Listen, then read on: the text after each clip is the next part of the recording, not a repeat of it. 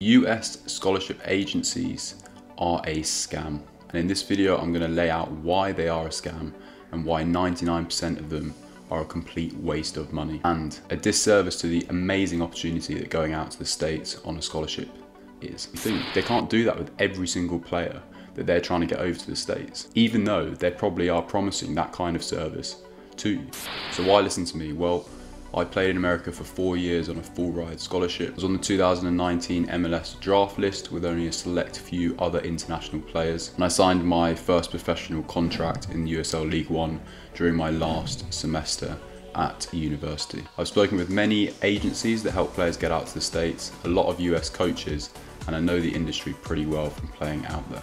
And not all agencies are a scam. There are a lot of very good agencies out there that help players get over to the States put them at universities which are going to be good suited to them and generally do a very good service for their players. But there are so many agencies that charge a hideous amount of money and just do an awful job of getting players over to the States at the right universities for those players. And they charge so much money for a service that is so simple and so basic that 99% of players that wanted to go out to the States on a scholarship can easily do themselves. It's very, very simple. Now, the premise of these US scholarship agencies is they are just the connector between players that want to go to university in America on a scholarship and then the universities themselves and the coaches that give those scholarships. That's all they are, is that connector, that piece that puts you in contact with those universities. And that, that connector piece, the connection they have with those coaches in the States can be really valuable. They can look at you as a player see how well you play, what your tendencies are, the style that suits you best, what you're like as a person, what kind of coaching you need, and then also look at you from an academic side and see what degrees you want to do, how clever you are, and what kind of academic environment that you need to be in and the support that you need. And then also look at you as a person and as a human and see what kind of environment you would do best on and off the pitch. And then they can dive into their connections over to the States and match you up with a program in a university that is going to suit you really well and then get in contact with that coach and see if they're looking for your you, the type of player that you are. And in those scenarios, that connector piece is really important because there are parts of the States, the universities, the college game where it is tough to find information. And so that connector piece of piecing you with a program that's going to fit you is really valuable and is worth then paying for that connection. And especially for these top programs in the States where everyone wants to go and having a connection or a relationship with one of those coaches is really valuable and not many people have those kinds of relationships or connections with those top programs and naturally those top programs have thousands maybe even hundreds of thousands of people trying to get in contact with the coach and the programs and so it's really tough to do and again, in those instances, having or paying for a connection with an agency that has a relationship with those coaches and those programs is probably worth paying for, but only if you're the right fit for them. And you might not get that opportunity or that connection without paying for that. However, it's important to understand that a lot of these agencies are working with a lot of players every single year. Some of these agencies, even into the hundreds of players per year that they're trying to get out to the States there's only a finite amount of top programs, top Division 1 programs in the country, and there's only a finite of top Division 2 and, and NAIA universities as well.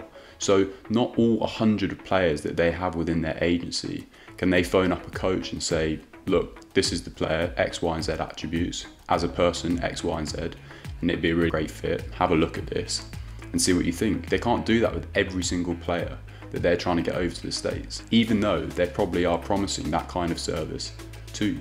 Only is that just impossible with, you know, even 40 players helping over to the States, you can't recommend all 40 of those players to one program. You have to spread it out between different programs. And so what happens if the majority of players who are at these agencies aren't getting recommended by a phone call to a specific coach?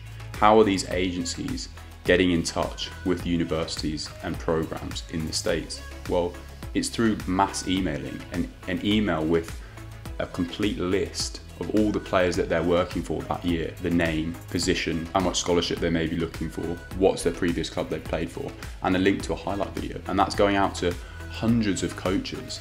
And your name is in a list with you know, tens, 20, 30, 40, even maybe 100 other players that that agency is trying to ship over to the States.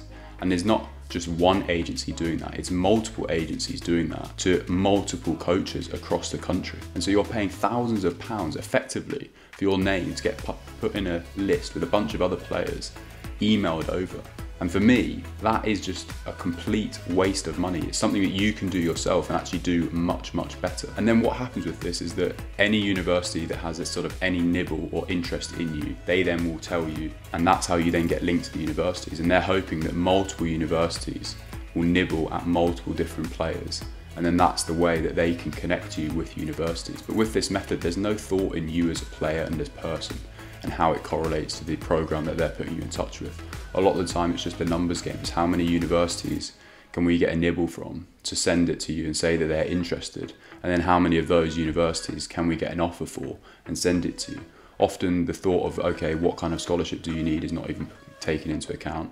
The type of university it is, the type of program it is, the coaches, how many internationals on the team. There's so many different factors that need to go into the thought of what university is right for you as a player. And as I said a moment ago, you can actually get yourself multiple scholarship offers to universities that one would be a good fit for you, two that you actually want to go to, and with this is universities that you've selected based on a criteria that you're looking for. So how would you do this? You can target simple things like location of the university, what division they're in, how big is the university, what's the playing style of the university, do they have foreign coaches, an English coach for example, what degrees are offered, how is that degree looked upon with the wider scale of the whole states, and many other factors that you need to consider when choosing a university. So if you would like me to create a video showing you the step-by-steps of how you can do this and how you can reach out to coaches directly and get in conversations and get multiple scholarship offers, then comment below and I will see if there's enough interest for me to create a video for this. If you found this useful, then please do like and subscribe. It helps the channel out massively. And hopefully there's enough interest and I'll show you how you can get multiple scholarship offers all by yourself to universities that you would actually want to go to.